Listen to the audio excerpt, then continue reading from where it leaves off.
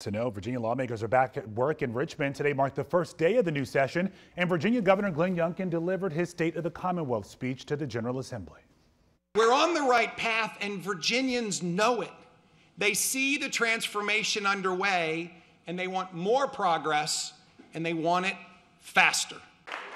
Well, Governor Youngkin asked state lawmakers to support his initiatives and budget amendments, including a $1 billion corporate tax cut. He also called on them to pass a 15 week abortion ban.